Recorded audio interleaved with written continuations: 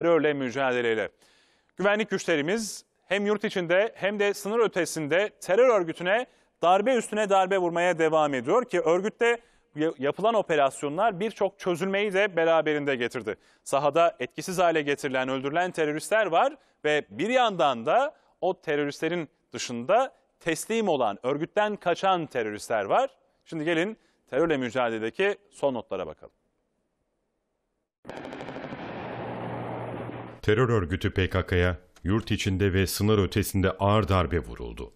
Şırnak, Siirt, Van, Hakkari illerinde başlatılan Yıldırım 13 Besserdereler operasyonunda sıcak çatışmalar çıktı.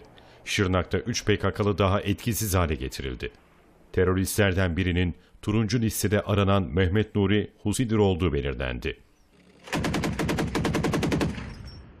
İçişleri Bakanı Süleyman Soylu, Hakkari'de düzenlenen operasyonda ise bir teröristin öldürüldüğünü bildirdi. 13 Temmuz'da başlayan Yıldırım operasyonları kapsamında bugüne kadar 127 terörist etkisiz hale getirildi. 53 işbirlikçi yakalandı, 190 mağara, sığınak ve depo imha edildi.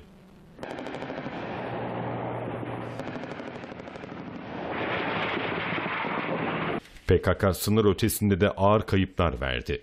Teröristler Suriye'nin kuzeyinde Fırat Kalkanı bölgesine hedef aldı. Taciz ateşine karşılık veren Mehmetçik, 6 PKK-YPG'li teröristi etkisiz hale getirdi. Diğer taraftan PKK'daki çözülme süreci ise devam ediyor. Van'da polisin ikna çalışması sonucu bir PKK'lı silah bırakıp teslim oldu.